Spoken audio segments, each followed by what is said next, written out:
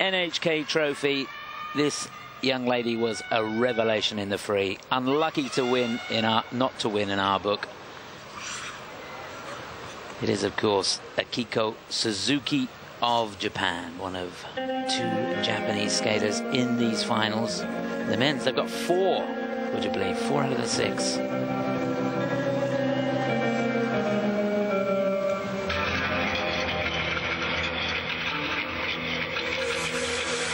Again, the starting element, triple toe loop, triple toe loop. Here it comes.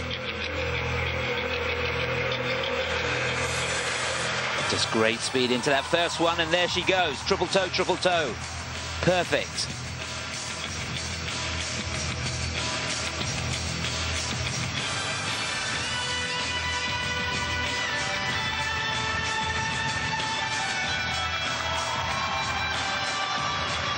Just beautiful.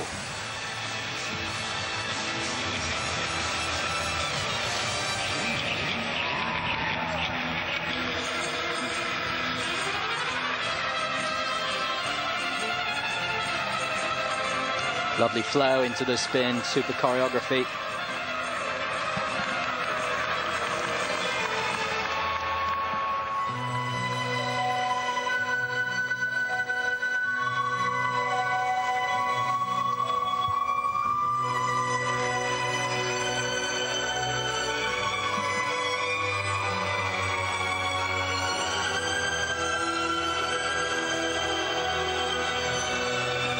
Little off balance there. She's not going to get that last position there. So level three. Uh, the grade of execution will go down on that one.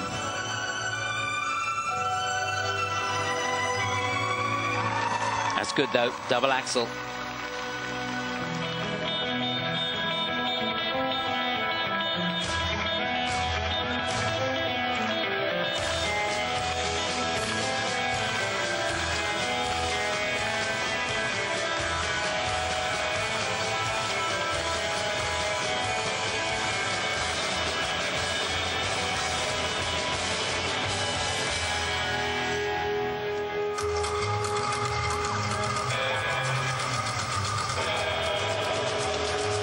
Super.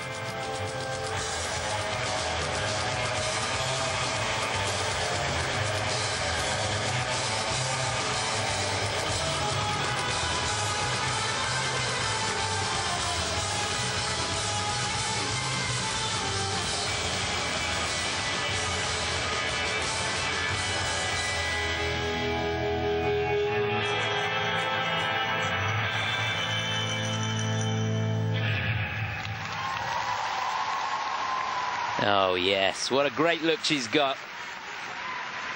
Akiko Suzuki of Japan enjoying a really, really good season. So uh, that's got her campaign off to a good start here in these Grand Prix finals. Just that one mistake on the spin probably cost her just over half a point. But apart from that, pretty good. I thought it was smashing. Uh, it, the music is very demanding. It's it's driving. The first one, Battle Without Honor or Humanity from Kill Bill soundtrack. Really, that's the what the outfit fits as well. And she captured that feel in the way she skated, the way she attacked the routine. The opening combination was good. The flip was good, particularly that um, choreography running into that first spin was really in keeping with the music. It flowed and it kept the power going, and the spin drove round. And the spin that she didn't do well on, looked really difficult to me, Chris. Yes. I mean, I don't know about the, the technicalities like you do, but goodness me, she was taking a risk on it. Seemed anyway.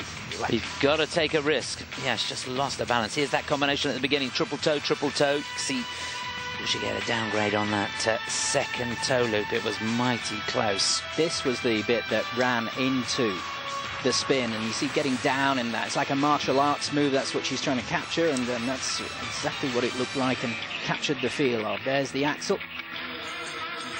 Step sequence went on and on and had so much content, just ensuring that she got high levels in it. Yeah, she must be knocking on the door of a level four in that step sequence, I would have thought. Which is going to help her a lot. Loads to admire in that program. Yeah, transitions throughout the program were really, really good. It- there, there was no empty bits at No. all, were there? No. And of course, that makes the technical elements, that much harder to perform.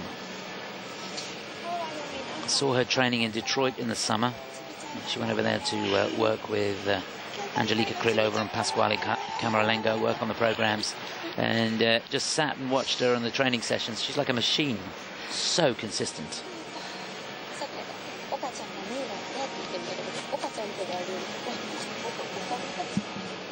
So the uh, score of 56.61 the target at the moment, and uh, this is going to go quite a bit higher than that. You can be sure, but uh, she's got to put pressure on the, the skaters that are still to come. Mao Asada, Ashley Wagner still to skate.